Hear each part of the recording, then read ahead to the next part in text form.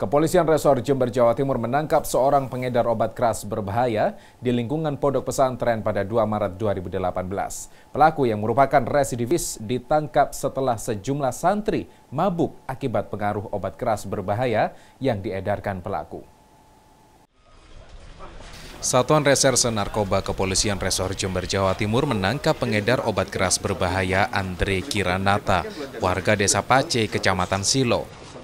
Pelaku yang merupakan seorang residivis dalam kasus yang sama mengedarkan obat keras berbahaya ke kalangan santri salah satu pondok pesantren di Kecamatan Silo.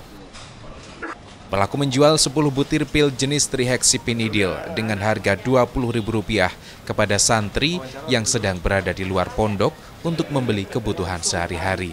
Aksi pelaku terbongkar setelah sejumlah santri mabuk akibat terpengaruh obat keras berbahaya yang ia edarkan kurun waktu antara Januari sampai dengan uh, Maret yang bersangkutan sudah bisa menjual sebanyak 700 uh, eh, butir. Nah, di sini kami amankan yang bersangkutan. Kemudian yang bersangkutan juga menerangkan bahwa pernah ada santri yang membeli di uh, tempat yang bersangkutan. Santrinya pun sudah kami interogasi dan menyatakan bahwa betul membeli dari Andre. Dari tangan pelaku, polisi menyita barang bukti 5.300 butir pil trihexipinidil. Hernawan Mustika, Kompas TV Jember, Jawa Timur.